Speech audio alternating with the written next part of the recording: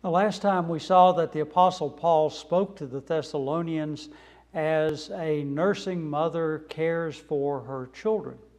And today we're going to see that Paul then uses the illustration of a spiritual father who trains his children in the Christian life. And so we're going to look at his instruction to them and see how it applies to us in our Christian walk today.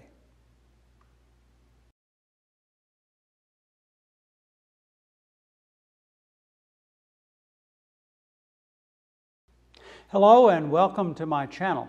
I'm Dr. James Jones, the pastor of the DeRidder Presbyterian Church in DeRidder, Louisiana. I'm glad you're worshiping with us today. Let us pray. Almighty God, Father, Son, and Holy Spirit, as we look today at the instructions that your apostle uh, Paul gave to the Thessalonian Christians, and we see what he says uh, to us regarding a godly Christian walk, we pray that you would apply the same truths to our lives in our day, that we might live lives that are worthy of our calling in Christ our Savior. Please forgive our sins, we ask in Jesus' name. Amen. Hear the word of God. I'm reading today from 1 Thessalonians chapter 2, beginning at verse 9 down through verse 12. For you remember, brethren, our labor and toil, for laboring night and day, that we might not be a burden to any of you, we preached to you the gospel of God. You are witnesses, and God also, how devoutly and justly and blamelessly we behaved ourselves among you who believe. As you know, how we exhorted and comforted and charged every one of you, as a father does his own children, that you would walk worthy of God, who calls you into his own kingdom and glory. Amen. This is God's holy, inspired, and inerrant word. May He add His wonderful blessings to our reading and hearing and understanding of it this day. In the passage before us today, we are going to notice three things Paul's work, Paul's walk, and Paul's talk. We'll begin with his work. Now, you'll recall, as we've seen, that Paul was being accused by enemies of the gospel of being a traveling con man. And in Paul's day, there were many such traveling con men. They would come into a town, they would promise great things, they would gather a crowd, and they would solicit money from them in order to obtain favor with the gods. Uh, because these con men said they had some special connection to a god or, or gods, and uh, therefore they would bilk folks out of their money and before anyone realized what had happened, they skipped town with money or goods. And so the enemies of Jesus Christ, the enemies of the Apostle Paul, have accused Paul and his companions of being traveling con men. And Paul is making an effort to show that that is not the case, that he is distancing himself entirely from such accusations. Uh, Paul sets about intentionally to show that this missionary activity that he was engaged in was not of the same type as these traveling con men. So instead of demanding, as he could have as an apostle of Jesus Christ, instead of demanding from the Thessalonians that they take care of him and that they provide for him, and he could have done this because of his standing with the Lord, instead of doing that, the Apostle Paul talks about how uh, they labored and toiled night and day. Now, those words are all important. The word for labor that Paul uses here comes from a word that means to strike something. And it uh, began to denote the, uh, the effect of having stricken something, uh, that it produced an effect in, in an object. And so uh, you'd have someone beating out copper, and by the time they finished, you see the effect of having used a hammer on a sheet of, of copper or any other type of material.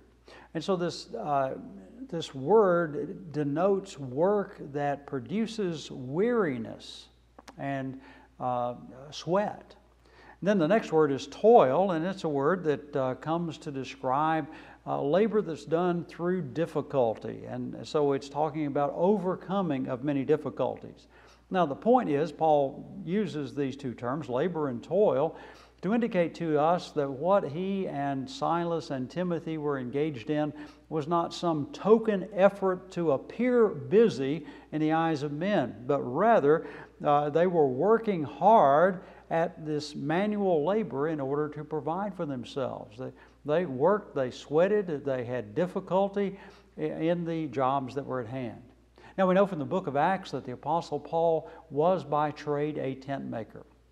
In Israel in Paul's day, there were uh, no uh, schools with professional teachers of any kind. Rather, uh, each rabbi uh, and each uh, father would take on a uh, young man in order to train him in some type of discipline. And so Paul had learned the discipline of being a tent maker. That meant he worked in leather and he worked in canvas that had been made out of goat's hair. And so this was hard, very difficult manual labor, but Paul was skilled in this. He had been trained in this. Now, the purpose of all of this is so that these missionaries might not be a burden to the Thessalonians who are coming to Jesus Christ. Uh, while Paul was at Thessalonica, uh, there were some uh, brothers and sisters in the town of Philippi that he had left who did send him some financial aid. They helped him. We find, in fact, that the uh, Philippian church was known for its support of Paul and his missionary activity. And so there were other churches that were established that were sending money to help these missionaries during their labor. In fact, it's the same principle that we have today. When a church in this country sends missionaries to a foreign field, we do not expect the people in that foreign field to pay the missionaries to preach the gospel to them. Instead, churches at home provide financial support for the missionaries so that they not, might not be a burden on the ones that they are teaching about Jesus Christ. Now, eventually, of course, those churches will be established, and eventually those churches will begin to take on their own financial responsibilities. But, just like it is here in Thessalonica, Paul did not want to be accused of being in this for the money, and he did not want to be a burden to the Thessalonian Christians. And so uh, he uh, says, We worked hard, even though we could have foregone that work and asked you for money, because I am, after all, an apostle. We worked hard in order to not be a burden to you as we preach the gospel of God to you. And so we see the example there of Paul's hard work. It's an example for every Christian about hard work that we ought to do, and it's an example for the church of how we ought to support those who uh, indeed preach the gospel of the Lord Jesus Christ.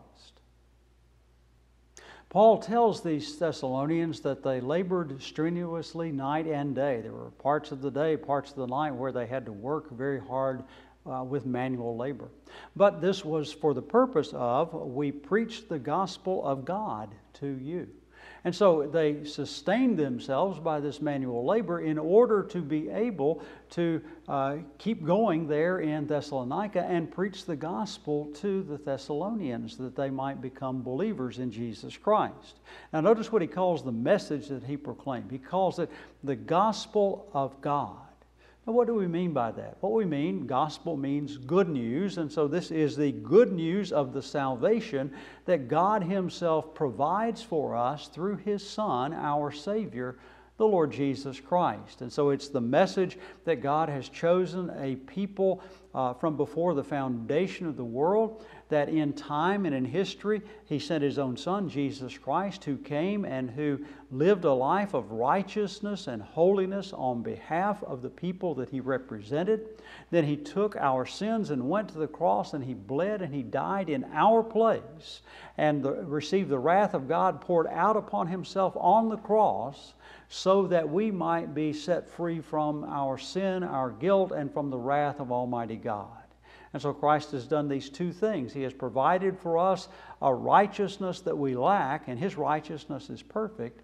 And He has provided for us redemption from our sins and our guilt, and has delivered us from the wrath of God in this life and the wrath to come. And so He has done all of those things. And so the gospel message is called the gospel of God because it is all about what God has done for men The gospel is not about you, and it's not about me, and it's not about Paul. The gospel is about Jesus Christ and what God has done for us through His Son, the Lord Jesus Christ. That's the gospel. It's called the gospel of God here.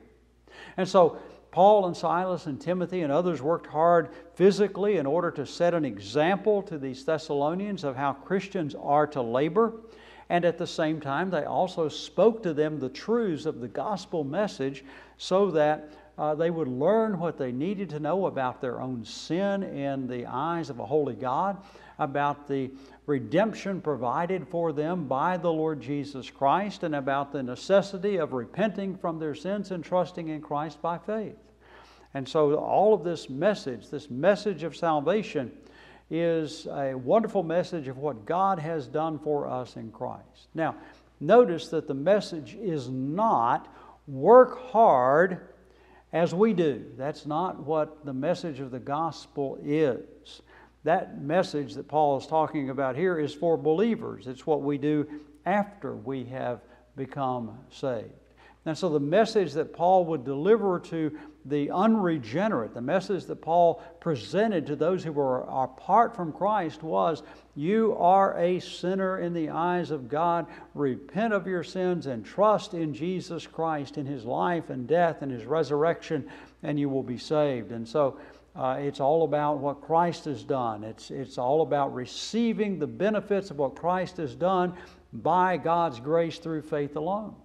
But once you have been converted, once you have become a believer in the Lord Jesus Christ, then we need to uh, understand that we are never to leave the impression uh, that either salvation comes by our hard work or that once we are Christians we don't have to do anything at all.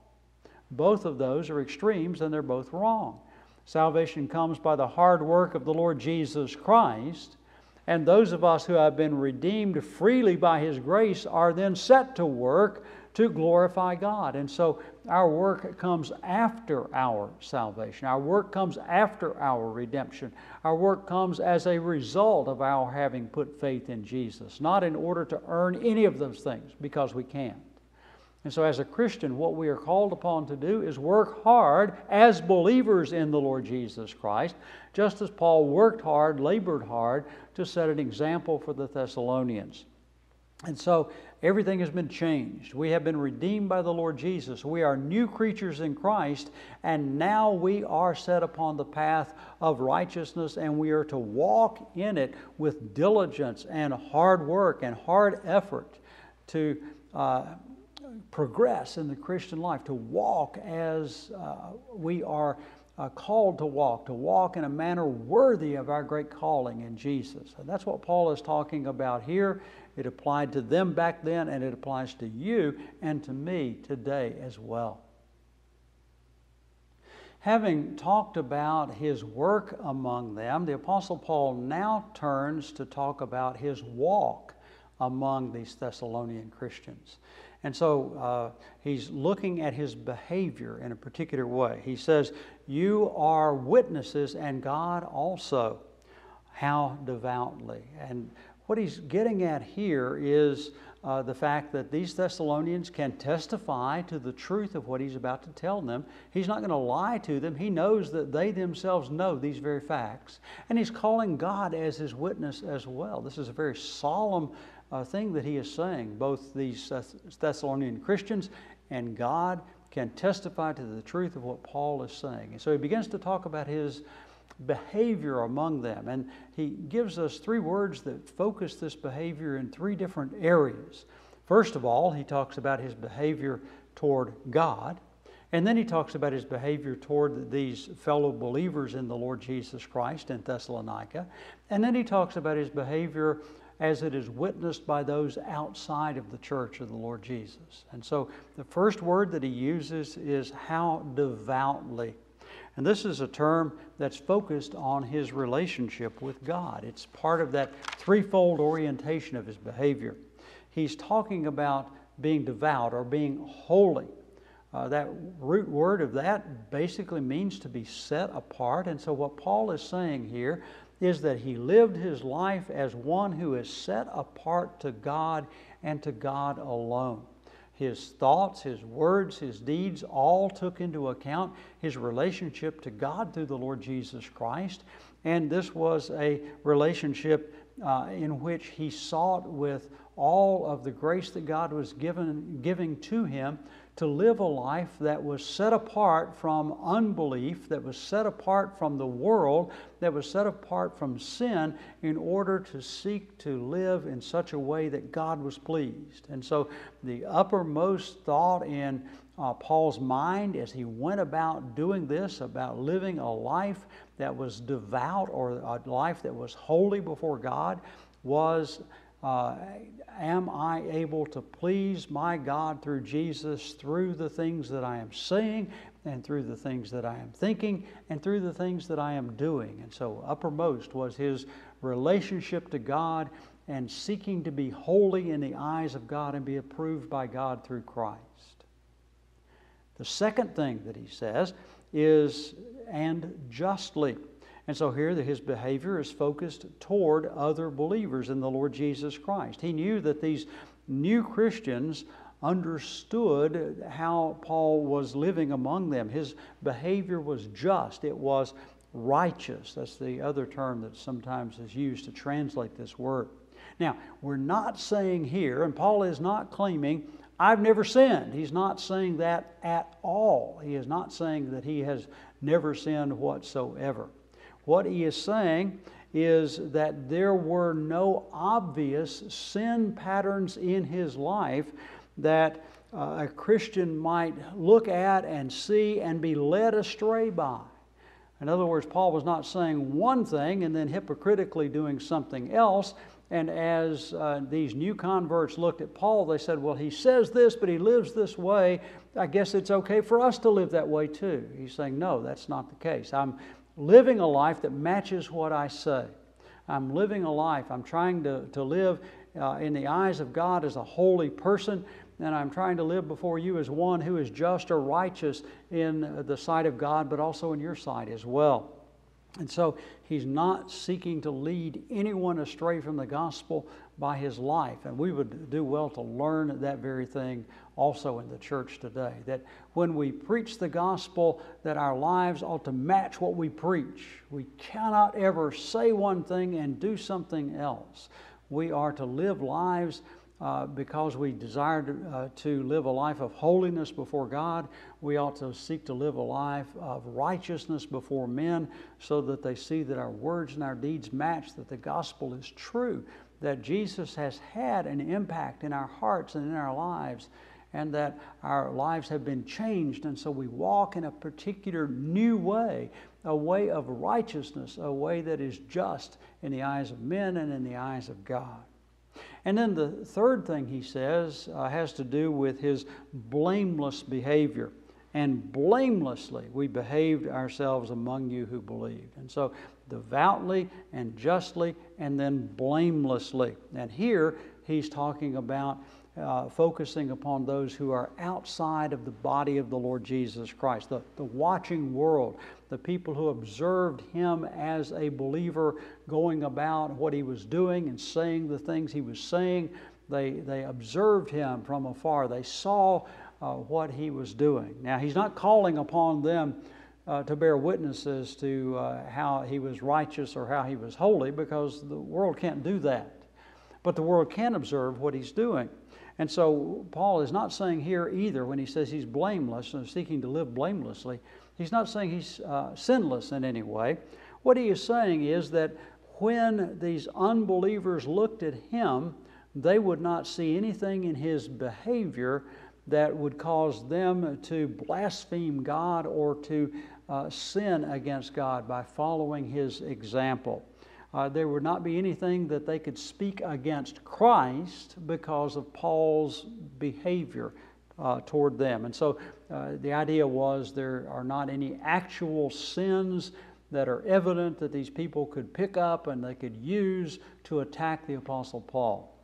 Uh, so instead, what they do, we see uh, in this passage, is they lie about him. They, there's not something that they can grab hold of Uh, Paul is not living in adultery. Paul is not lying to people. Paul is not stealing money from anyone. Uh, Paul is living a holy life before God and a righteous life before men. And so, because there is nothing that they can do, they have to make up lies against him. The world observed Paul just as the world observes us, uh, and they could not charge him with any legitimate sins against the Thessalonians. And therefore, uh, they were forced to make up these lies in order to try to discredit him. But Paul says, You Thessalonians, you know the truth about how I live. Now, that ought to be the case for us as well. It ought to be the case for us today in the church that, that if the world looks at us, they could not point the finger and say, uh, he says that he is holy and he says that he is righteous, but look at him stealing from these poor people, or look at him taking advantage of this person or that person, or uh, living in adultery or committing some type of crime. Uh, this should never be the case for Christians, and especially not for those of us who are pastors and ministers of the gospel. Our lives ought to be holy before God and righteous before men and blameless before the world, so that if they say anything against us, it has to be a lie. There should be no truth in it whatsoever. Having mentioned his work among them and having uh, set the example of uh, his walk among them, Paul now turns to remind the Thessalonians of his talk with them. As you know how we exhorted and comforted and charged each and every one of you. And so he uses three terms here to describe his talk among and to the Thessalonian Christians he wants to remind them of his manner of speaking with them. And so, what he's going to do in, in this section, he's going to liken his uh, speaking with them to a father who trains his children. Uh, remember the, the family references that we see in this section. He's already mentioned a nursing mother and her gentleness toward her baby. And now he speaks of a father, a spiritual father, a godly father who is training his children in righteousness. And so that's what we see in this section here. He is gentle, like that nursing mother, and he is instructive and supportive and patient, like a godly father who is training his children in righteousness. And so the first term he uses is that he exhorted them. Now, that word, exhorted, is the verb that is related to the noun that describes the Holy Spirit and Jesus as well. Uh, it is a term that, uh, that has to do with the Holy Spirit, who is our comforter, who is our counselor. And so this word could be translated as comforted or counseled. But what it literally means is to come alongside of someone and support that individual in his time of need. And so, this exhortation that Paul gave was a, an exhortation to support these new believers in their Christian walk. It's done through confronting someone with the claims of the gospel uh, and making demands uh, of that person on behalf of what God says in Holy Scripture. Uh, and uh, what uh, the Lord Jesus Christ would expect of us as believers as He sets forth in Scripture so that the individual's life is changed and he begins to walk in a godly manner. And so, exhortation has to do with providing information, it has to do with providing instruction, but it has to do with also uh, basically uh, placing the demands of God upon a person's heart and saying, Now walk in this way. This is what God desires. He says this in Scripture and uh, it has to do with speaking the truth of God and comforting or encouraging these Thessalonians to walk in a manner that's worthy of their calling in Jesus Christ. That's what he's getting at here. And so, wrapped up in this concept of exhortation is comfort, it is counsel, it is encouragement, it is demand, uh, it is imperative. You are to walk in this way uh, you will be able to walk in this way as God gives you grace. And so Paul says, just like a father does this, that this is what he did among them. He exhorted them in the truths of the gospel of Jesus, in the truths of what it means to live a godly Christian life in a fallen world. Next, what Paul says is along with exhortation, what he also did was he provided comfort. He says, and he comforted them. Now, these words are often translated uh, much the same way. And so, uh, in, in a dictionary, you'll see that the word exhortation, and uh, the Greek word for exhortation, the Greek word for comfort here, are often translated by the same types of things. It's talking about comfort, it's talking about uh, uh, consolation. But this word comfort seems to have along with it the idea that a person is discouraged and overcome and bewildered, and therefore you are coming alongside that individual uh, to meet the need that that person has at that particular moment. That person needs to be encouraged in his Christian walk because he's become discouraged for some reason. So Paul says, along with exhorting, do this, he also came alongside of these folks and he gave them comfort and encouragement and consolation, uh, encouraging them to continue their walk even though it was hard, even though it was difficult. We've got to do the same thing today as Christians. What we need to do is what Paul was doing. We need to remind one another of the marvelous promises of God in the gospel of Jesus Christ. That's what Paul is using as the information that he's providing. He's exhorting these Thessalonian Christians, these new converts, to keep on walking in the truth, even though it is difficult, even though there is opposition. And he is reminding them of the marvelous promises of God that are ours in Jesus Christ. And that is great consolation when you face great difficulty. The third type of speaking that the Apostle Paul said he did toward the Thessalonians was to charge them and charged every one of you as a father does his own children. And so the idea here is to uh, entreat them, to charge them. The, what Paul is doing here is he's coming alongside these Thessalonian new converts to Christ, and he is seeking to motivate them to continue growing, even though they are growing weary in their Christian walk, to keep on going in the Christian life, even though it's tough, even though it's hard, even though it is very difficult and there's opposition from our own sinful hearts as well as from the world outside us. And so Paul is, is charging them by seeking to show them that their labors in the Lord are not in vain, that eventually they will reap if they do not give up. But uh, even if we don't see results immediately, or even if we never see results in our lifetime, our labor in the Lord is never in vain. And so he's encouraging them in this way. And he says the manner of this charging them is as a father does his own children. Now, he's setting the pattern, once again, a nursing mother being gentle, and now as a father charging his own children. Uh, he wants them to follow the pattern that he is setting for them. And he's giving this uh, example of the pattern of a father uh, instructing his children. Uh, this is not a father who is berating his children. This is not a father who is uh, vilifying his children uh, because they don't do immediately what he says to do. This is rather a father who is patiently instructing his children. So I thought about this. Uh, I, I, thought that maybe an illustration of this for us today would be a father teaching a child to ride a bicycle. If you've done that, you know what it's like. Uh, you help the child up on the bicycle once the training wheels are off. And uh, while he's uh, seated on the seat, you encourage him to be able to go. You talk to him about balance.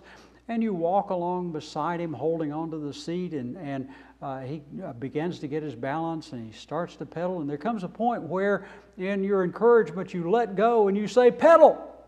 And then he falls over, and you go and you pick him up and you start all over again. But you do it with patience. You don't berate him uh, because he fell over the first time. You know that it takes a while to learn such a skill. And so, as a godly father, you encourage this child and you are patient with him and you help him over and over again because you know that eventually he's going to learn to pedal. Eventually, he's going to learn to stay upright. And so Paul is running alongside these Thessalonians, holding on to the bicycle seat, and he is encouraging them walk worthy of your calling in Christ. And he lets go of the seat and he encourages them to pedal harder, to walk in a godly manner. He lets go and he encourages them to go on. That's what we're to do. And so, uh, as we instruct uh, new converts in Christ, we show them how to walk. We help them learn to balance as a Christian. But there comes a point where we have to let go of the seat and they have to paddle, uh, uh to pedal. And so we let them go uh, to pedal uh, hard and we encourage them to keep on going, even when they fall over, to get back on that bike and to ride some more. And so, as Christians, this is uh, the type of thing that we ought to do today. This is what Paul is doing. He's providing encouragement. He is, he is charging these Thessalonians walk in a manner worthy of your calling. And so now we're going to look at the charge itself. The charge itself is this that you would walk worthy of God who calls you into his own kingdom and glory. And so the charge is an exhortation for them to walk worthily of their God in their Christian life. Now, no true Christian can remain as he was at the moment of his conversion. We all come to God through Christ as wretched sinners. We come in rebellion against God. We are brought to repentance and faith, but we are not allowed by God to remain in that wretched state of rebellion and sin against God. Yes, we're saved apart from our own good works. We're saved by the, the wonderful, perfect work of the Lord Jesus, but we're saved unto good works, as Paul says in uh, Ephesians chapter 2, verse 10, which God prepared in advance for us to walk in them or to do them. And so uh, we're saved unto good works. We're not saved by good works. And so we are all uh, to exhibit changed lives and that's what Paul is talking about here. It's an exhortation to walk in a manner that's worthy of the calling that they've received in Jesus Christ. There must be a change in you as you grow in your Christian faith and in your Christian life. Paul is not saying at all that by your works you're worthy of being saved. He's not, that's not what he's getting at here. He is saying that a believer who is saved by the work of the Lord Jesus Christ is to give evidence in his life of that change, of true salvation, of regeneration, of repentance. And therefore, that new life is patterned after Jesus, your Savior. We are being conformed more and more into the image of Jesus Christ who has redeemed us. I notice also that it is God who has called you, Christian, to this new life. He effectively called you with the gospel of salvation, and you have come through repentance and faith, uh, which are gifts of God, to uh, trust in the Lord Jesus Christ. And He has called you to live a life of holiness as a result of your conversion. And so this life is uh, made fit by the Holy Spirit for God's kingdom and for God's glory. Now, we know that it is impossible for anyone who remains unconverted, who remains in his sin, to ever be fit for the kingdom of God. And it's, the same thing is true. It's, it's impossible for anyone who is unconverted to be fit for the glory of God. And so, our effectual call that is given to us by the Holy Spirit from God is, uh, produces this effect in us. It produces the effect of repentance from sin and faith in Jesus. It produces the effect of sanctification, our growth in grace day by day as we grow in holiness. It, uh, it results ultimately in final conformity to the image of our great Savior, Jesus Christ. And so this fitness for the eternal life of the kingdom of God and for the glory of God is what the Holy Spirit is working in us. And it comes from this call that God has placed upon our lives. And we are to walk in a manner that is in keeping with that call, a manner that is worthy of that call. Uh, we're not called to continue to live in sin. We're not called to live in rebellion against God. We're not called to live just however we want we are called to live lives of obedient faith through our Savior Jesus Christ, lives that reflect the glory of Christ in us. And so we are to do such things by God's power, by God's Spirit, and in keeping with God's call upon us. So, how about you? If you're watching or listening today, how about you? Have you heard that call of God through Jesus Christ today? Have you turned from your sins uh, to trust in the Lord Jesus Christ as your only Savior? Or have you put your faith in Him?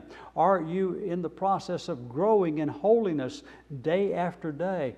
Are you dying unto sin and living unto righteousness? Are you being conformed more and more into the image of Jesus, your Savior? Uh, are you being made fit by the work of the Holy Spirit uh, to be ready for the eternal kingdom of God and for the eternal glory of God? Uh, if not, then I urge you to listen to what is said. Turn from your sins and trust in the Lord Jesus Christ today. And you will find that these things that I have mentioned to you will begin at this very moment to take place in your life. You will uh, be worked upon by God's Holy Spirit, and you will uh, be in the process of being sanctified and growing in holiness. And these things will begin to develop in your own life. But you must turn from sin and trust in Christ because there's no hope apart from Him. If you haven't done so already, do so now. Amen. Let us pray once again.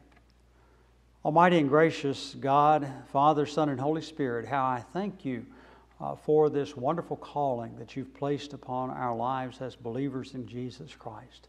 That we indeed are called to uh, walk in a manner that is worthy of you, uh, that is uh, a manner that prepares us for your eternal kingdom and your eternal glory through Jesus. And so, Father, my prayer is anyone listening today who is apart from Christ, who is of your elect, please send your Spirit to make effective the words of uh, the message that Paul preaches here to us, uh, to drive it home to that person's heart, and grant to that one repentance and faith in the Lord Jesus. Give a new heart, a heart of flesh that believes in the gospel.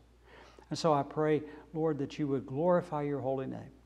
Please forgive our sins and bless those of us who are Christians to walk in a manner that's worthy of the calling that you have given to us through Christ. We ask this in his precious name. Amen. Thank you for being with me this week, and I look forward to bringing the Word of God again next time.